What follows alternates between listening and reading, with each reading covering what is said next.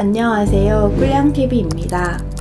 저희 가족은 나트랑에 여행을 다녀왔습니다. 나트랑에 여러 유명한 장소가 많지만 또 하나의 명물은 머드입니다.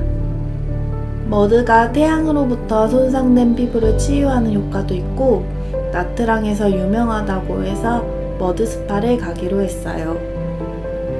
이곳에 유명한 머드 스파는 다섯 곳이 있습니다. 아미아나 리조트, 그리고 아이 리조트, 갈리나호텔 혼담 리조트가 있어요. 그중 아미아나 리조트, 탑바, 아이 리조트는 나트랑 중앙부에 있어서 접근성이 좋아서 그런지 리뷰도 많았습니다.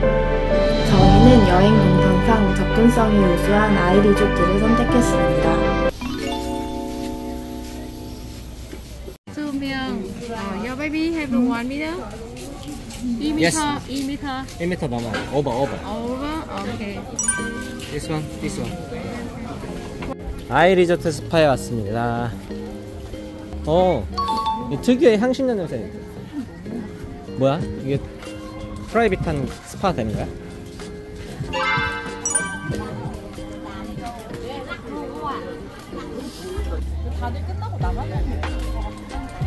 우리는 몽키 리조트랑 파란섬 갔다가 오후에 스파를 하러 왔습니다.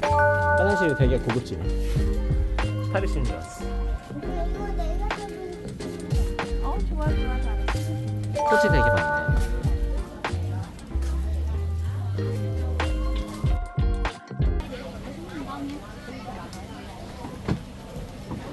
여기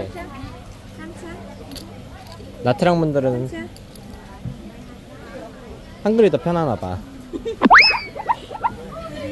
baby. 남자 왼쪽, 여자 오른쪽. 일로 오세요. 자, 탈의실. 우리는 258번. 스파.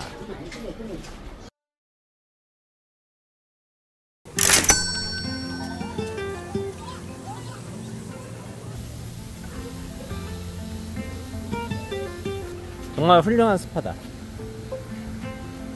이게 워터파크인가 봐. 이게 워터파크고. 워터파크가 되게 좋네.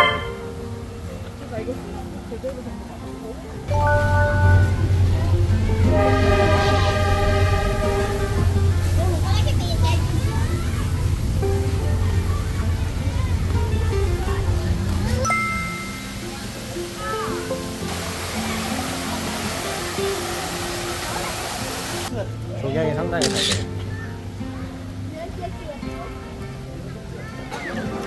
머드라서 그런지.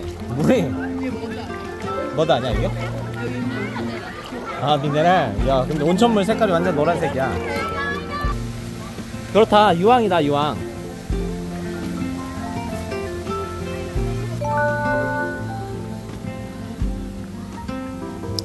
여기가 머드 베스네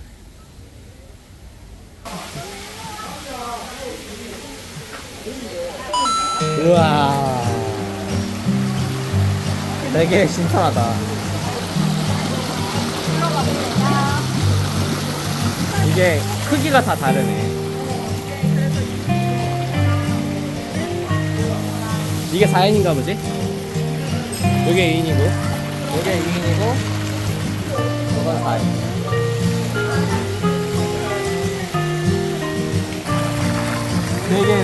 진흙인데. 이상하게 그 엄청 막 불쾌하진 않아 완전 미끌미끌해 되게 그 스파의 장점이 야외로 뚫려 있어가지고 되게 그 더운 날에 습한 경험하지 않아 비는 피하면서. 습하지 않아 네, 물론 뭐